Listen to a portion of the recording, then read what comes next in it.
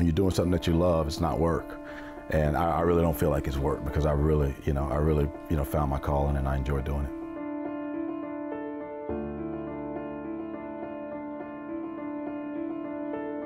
Eric Wolford, who was a teammate of mine, uh, got the head coaching job at Youngstown State, and you know he gave me a call and he was like, you know, Andre, you know, I think you'd be, you know, I think you'd be great at it. You should give it a try.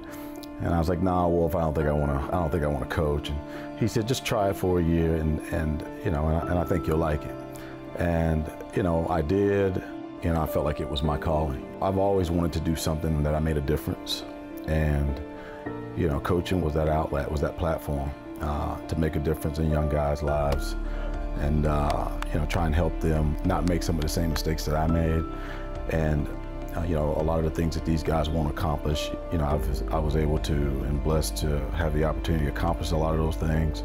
And, you know, you know, they say when you're doing something that you love, it's not work.